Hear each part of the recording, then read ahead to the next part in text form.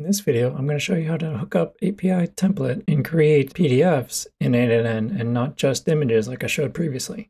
If you're curious about the image portion, check out the video I have pinned up in the corner. But in this case, these workflows will allow you to create PDFs from N8N. But before we can do this, we actually need to create the PDF template. So if we go over to API template, uh, if you use the link in the description and sign up to one of the paid accounts that does support the channel, and I greatly appreciate if you do. But once you create the account, you want to click on Manage Templates and click on New PDF Templates. Now in here, we actually have two different ways we can create the templates, either directly with uh, HTML or with a, uh, visual editor. I'll show you a quick example for both, but in this case, we're going to do HTML demo, and we're going to choose uh, one of these ones. So it kind of gives you a breakdown what it's going to look like. If you click on any of these, it'll give you a quick demo. But we'll pick this one, why not? Click on create. And it's going to come up in your template list. Click on edit. And if you're familiar with HTML code, this is what it's going to look like. I'm not too familiar with it, so I'm not going to dive too much into this, but I at least wanted to go over it to show you how to use this if you choose.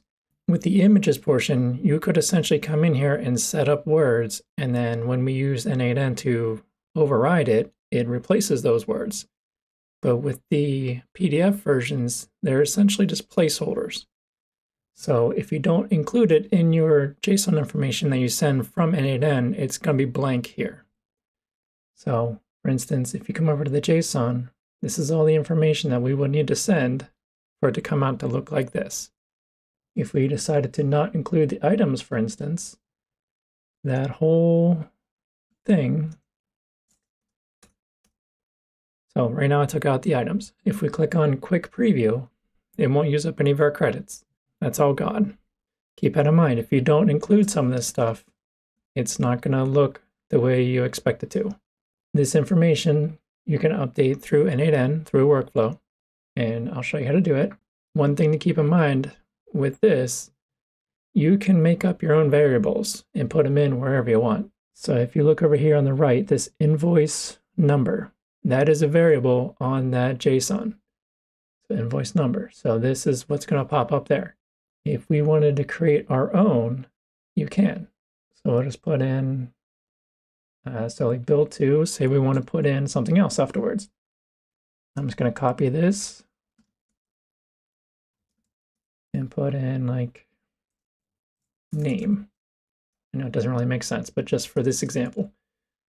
So we come over to the JSON, we hit enter, put in quotes the same variable name we just gave it. And then testing. Make sure you have a comma at the end. Make sure it's the same format as the rest of it.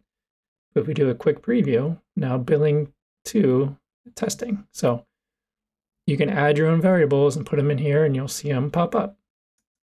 If I took that out, for instance, and ran it again, it's gone, but you still have the break because that placeholder is there still. You get what I'm trying to say. I'm not too familiar with HTML, so I'm not going to get too involved in this one, but I just want to show you that you can create your own variables, put them in here, and then whenever you go to N8N, you just have to fill in the information accordingly. That is the HTML version. The way that I would probably use it if I end up using this is the other visual editor. So if we go back to new PDF template, we have this other option, create PDF with the visual editor. So as you can see down here, it says no coding skills required. It does support custom CSS. But for this example, we'll just pick this one. Okay, now over here, if you look at the editor, you got an HTML, that was the first one, and this, what you see is what you get, is what that stands for. You click on edit, and this is more friendly for most people, I'm guessing. but as you can see, you do have a lot of these placeholders. So it's the same kind of information. So anything in these two curly brackets is what the variables are going to be. So by default, out of these, out of the gate, all the ones that they use in the template are going to be here already. Like I showed earlier, you can actually come in here and add your own. So for instance, like this logo right now is a upload a picture. So if you come up here to top, there's a bunch of these editors. This one is the image. So you can upload an image, click here, browse, find your picture, put it up. But say I want to have this option to be able to fill in an image source. So if I delete this and put in double brackets, image underscore URL, and then double brackets again. I'm going to copy this just so I make sure I name it correctly. Save that. If I go to JSON and just near the top, I'm going to do the same thing. Put in double quotes, colon, and then I'm going to put in a URL in the in the quotes. So I'm just going to go to here, grab this guy, paste it in there, and then if I do a quick preview, you'll see that that initial logo that was there is now I take that back out and I don't include it, now you just get this placeholder and it doesn't look good. Whatever you want to update, you need to make sure you include it in the JSON information. Now with this template, it does give you almost everything it, it can offer. So if you want to do a QR code, it kind of gives you the, the website and then it automatically renders it as a QR code. Same with the barcode, so on and so forth. And down here, it automatically configures this the um, the item breakdown in the for loops. If you want to get into this and dig more into it, they do have some tutorials. The template language or start with the PDF template. There's links you can look into it. Once you're done editing everything on here, you want to make sure you hit save. Because if you make changes and then try to upload the JSON information without saving, whatever you changed isn't going to work. So make sure you hit save. That's messed me up a few times. I'm going to go over the Google Sheets real quick and then the workflow, and then I'll come back to show you about the JSON information. But if we go to the Google Sheets, we have just the uh, basic setup here. So you would essentially set up the headers for each one of the fields that you want to change on the uh, template. In this example, I'm just changing the invoice number, the website, image URL, which we added, uh, the invoice date, and invoice due date.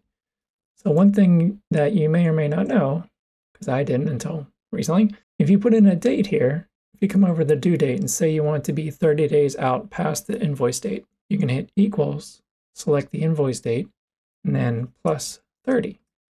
And Google Sheets is smart enough to realize that you're trying to add 30 days, and it automatically does it for you. Very handy. I didn't realize it did that. That is essentially the setup for the, uh, the visual editor. We go over to the items, in this example, we're just having one invoice, but you can do this workflow with multiple. I'll show you that in a moment. But the invoice number is what N8N is going to get the array of items by. So make sure you have the correct invoice number here with the product name, units, unit price, and then for the total, I just did a simple this times this equals that. I also wanted to show that if you do have an invalid number here, like an A or name or whatever, the code in N8N will actually be smart enough to filter out this. So if I was to try to send this with this A, API template is going to fail. So I want to make sure that it was built in so that that didn't happen to you. So if we go to N8N, this is the uh, general workflow. I did want to show this real quick, uh, create dates. So before I realized that in Google Sheets, I was coming into N8N and doing my own, essentially. So if you do the curly brackets and then type in or just choose now, it gives you the timestamp for now. If you do dot format, and then it defaults to year, year, month, month, date, date. You can always rearrange those letters. So if you want the days first, month second, year last, or month first, you can rearrange it. But if you go right before the format and put in plus or dot plus, you can then put a 30, comma, then a unit. So if you want to put days, it'll add 30 days. If you want to put in months, it'll add months. So that's how I was doing it until I realized that Google Sheets can do that as well. So something to keep in mind if you ever need to do that. It's very handy. I'm going to go ahead and run this just so you see how it goes. So first it's going to go to Google Sheets, get the invoices where it's going to filter it based on the PDF link. If the PDF link is blank, meaning it hasn't been done yet, it's going to grab it. So you can have multiple rows in here if you want to. So you see the row number, invoice number, website, image URL. It then goes and loops through. So if you did have multiple invoices, this can accommodate for that. The items sheets it goes by the invoice number, which I just dragged over from here, invoice number, and that's the value of one. It then gets all the units that have, or I'm sorry, all the items with that invoice of one. And you can see down here, it has unit A and gives invalid total. So in this code node, you can see that I am passing the invoice from the loop over items. It then goes to the items, you know, get items for invoice. So if you look over here, it says four items. So it got those four different products. If you look here, over here on the right, now it has all the information that we will need in the future nodes in one place. So the invoice is here and then the items here. And if you look down here, we got the filters so that if you do have an A in there, which I did, it's not going to return it. So we only have the three items instead of the four. Very convenient. If we go to create PDF, this is where we will put that JSON. So if we go back to the API template, go to the JSON, we will copy all this, go to NNN, make sure you choose PDF, create, choose your template ID, paste it in here, replace what you have in your workflow, just so you can see what I did. I left the company email, all that stuff alone, invoice number, I grabbed it from the create item array. Okay, so then the items, as you can see, this is just giving me back an array. And then I used a uh, stringify, so it actually looks nice over here. So it returns this, doesn't modify anything, but then adds um, two space separator. So that's what gives me the tab. So this essentially looks the same as the JSON that is on the website. It then does what it needs to do, gives me back the document URL, and then go to get an account. I just need this to get the API remaining. And then I update the Google Sheet with the uh, URL and the remaining. You just got to make sure the column matches on the row number. We go over to the PDF Visual Editor demo. We now have that PDF link we can click on. And there is our invoice with the image that we submitted, the uh, invoice number, the invoice date, and the due date, and the different products we put in. That is one way you can use the uh, API templates PDF if you go in there and set it up the way you want and just update the parameters accordingly. That's one way you can use it. That's probably how I would use it It's very convenient. That way you know it's always the same. But with the um, API template, they also give you the option to just submit raw HTML data and it can create the PDF with that. Okay, so as you can see, this doesn't look the same as this node. This is a general HTTP request node. If you're curious how I set this up, I'll go ahead and show it to you real quick. Otherwise, you can skip ahead. If we go to the API template, hit the X to get back to this screen. And then at the top right, click on Resources. And then under API References, we want to click on the most recent version, so the latest version here, version 2. Scroll down a little bit. We're going to temporarily use this command because it's the only one that has the curl option. So we click on curl. This is all the information we'll need for creating a PDF, but we're going to change it a little bit. If we copy this, go back to N8N and look for HTTP request, we can actually click on import curl, paste it in here, import.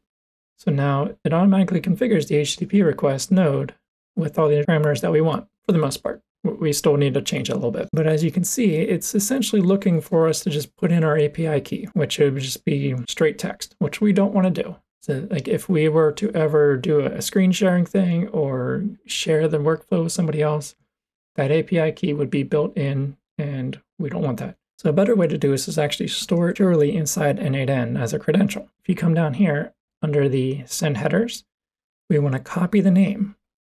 So this x-api-key. Under authentication, we want to change this from none to generic credential type. And then for the type, we want to choose header auth because this was under the header. So we want to choose header. And then in the dropdown, click on create new credential. Make sure you name this because otherwise you're going to have no idea what this is for. So API template. Paste in the name here. And the value is going to be your actual API key. So if you're not sure where to get that, if you go back to the API website, you go to API integration, your API key will be right here. And click on Copy API Key. Go back, paste in the value, hit Submit. So now your API key is stored securely in your N8N under API template. I have three because I have two other examples already. Now you won't need to worry about that API key being exposed. We close out of this. We can now actually turn off send headers. We don't need this information anymore. And in this case, we're actually not going to use a template ID. So we can actually take out the query parameters as well. Now for the body content type, we're going to switch this from using the fields below to using JSON. Now it's not the same JSON that you would use from the template that we created, since we're not using a template. We actually need to use a format that they have on here. So we go on the left-hand side, go to create PDF from HTML. And if you notice, the website is different. We click on here, copy this top one, go back to N8N. Before it was just create PDF. We paste it in here, PDF from HTML. So now it's going to go a different place. And if you look, we click on this to minimize that again. This is the actual JSON information that we need to send over. And click on copy and paste that into the JSON. Make sure it switches over to expression. If we expand this, we can get a better look at it. This body, if you're familiar with HTML, this is the header. So this is the information that we're actually going to fill in the previous nodes in the workflow. And the other thing you may want to change, because by default it's super huge, the uh, font size is 15 pixels. So if we want to change that to like 8. So I'll, I'll just show you. I'll switch the example back to 8, or um, 15, just so you can kind of see what I'm talking about So we come over to here. This is the same setup I just went through, but the 8 pixels was what it was. That's what it should be. I'm going to put it to 15 just to show you the example, and everything else is essentially the same. So I'll go ahead and run this. You could set this up so that throughout the workflow, it's generating this HTML, but for this example, I'm just using ChatGPT to generate a sample one because I'm not too concerned about what it looks like for this example. But once it does, it's then going to send that information over to API template through this API call. And one thing to note, the content. So out of the uh, message model, the HTML here, I just drag that over. But you also want to add in these um, replace. So replace this with this, and then another replace that with that. Otherwise, it's not going to be in the correct format for API templates. So that is very important. Make sure you include that. If you were to try to run this and you didn't include that replace stuff, you just dragged it over the HTML over, you'll get a message saying it needs to be a valid JSON. If you aren't getting, if you're getting that invalid JSON, make sure you put in that extra replace stuff here. So I'm going to copy this, but you need to make sure that at the end of the HTML, you put replace that with that, replace that with that. Over here, you can see all this. It's there. It works. Um, again, in this example, I have it, I put it back to the default of 15 just to show you what it will look like, but I recommend changing it to like 8. So once it's done, it gives us back that um, download URL. Then again, I just got the uh, information so I could update the sheet with the remaining. And if we go back to the sheets, we can go to HTML directly and click on this one. And there we go. So this is the 15. See how big it is? Compared to the original one I had in there, which was just 8. So that's more reasonable. That's the default. So make sure you change that if you want it to be smaller. But as you can see, it created a sample invoice with just the HTML. So it gives you the option to either create it through HTML, or if you want to go in and actually create the template and fill out the forms and fields and everything, create the variables, so on and so forth. Now, obviously, you can set up N8N to actually generate a, a good HTML flow and whatnot. I don't know how to do it, so I'm not going to show how to do it. I figured this would at least give you an example of how you can do it. Yeah, hopefully that cleared up some um, questions about the API template PDF editor and how to use it in N8N. If you have any comments, please leave them in the comments below. If you have any suggestions for future videos, leave them there as well. Thank you for watching, and I hope you have a great rest of your day.